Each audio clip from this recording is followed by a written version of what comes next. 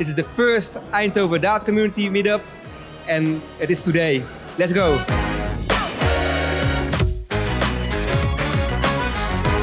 I expect from this meeting to learn uh, more about uh, Delta Live tables and also to learn uh, more about uh, yeah, meeting new data people. I'm not really uh, very familiar with the products and services that Databricks offer yet, uh, but I've heard a lot in my surroundings that people are using it. And I've also heard that their uh, support is pretty good as well.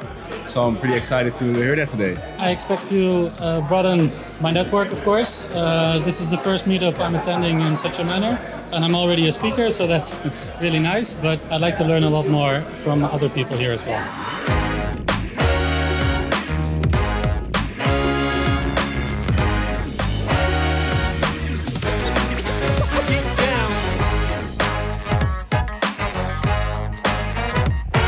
Jumbo is a really multifaceted company. It, uh, it works both in the offline uh, channel but also online, of course. Uh, but next to sales, we have a lot of different kind of data. We have loyalty data that we recently launched, but also space optimizations. We're, we're doing delivery optimizations.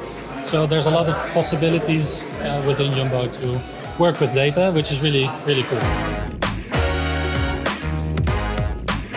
Looking at the evening, I think it's a great initiative.